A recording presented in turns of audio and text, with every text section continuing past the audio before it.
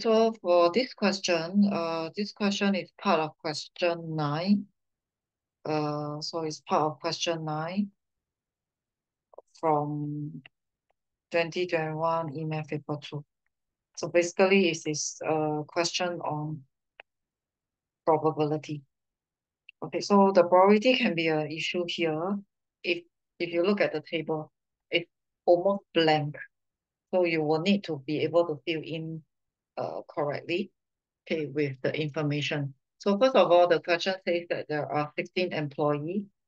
So later on, I'm expecting that this one will add up to 16. Okay, then uh, if you choose one of the employee, the probability that it is a man working part-time. It is a man, and the man is working part-time is 1 over 8. So in actual fact, you can go and multiply by the total number. You realize that there will be two men working part-time. So just that piece of information, you will be able to find out that there are two men working part-time. And after this, you will realize that there are seven male. So there are seven men so that you will be left with nine women. So out of the nine women, there are some that is working part-time and some that are working full-time. Okay, so subsequently, the next one, we are going into choosing two employee. So I'm going to choose two employee. And the probability that both are women working full-time. So both are women working full-time. So I wouldn't know how many women are working full-time, how many women are working part-time. But I do know that they add up to um, nine. So I'm going to assign this as x. So here will be a 9 minus x. So that means, right, there are x women working full-time. So both are working full-time. So there are x of them. Okay, so what is the probability that the first one is a woman working full-time?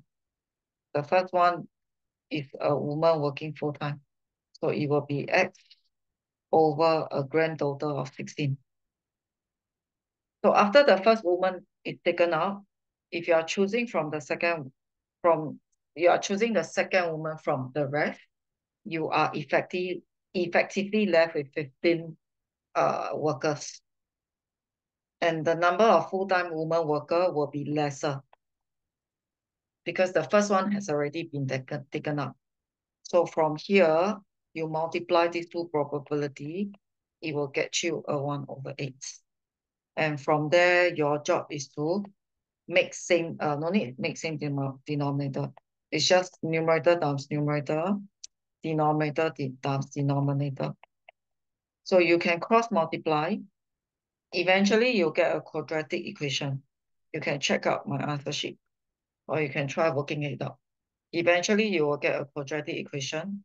You will get two possible answers, which you will need to reject because it cannot be a negative quantity, and then this is a 6, and then this will be a 3. So that's how you fill up the table based on the probability that they are providing to you.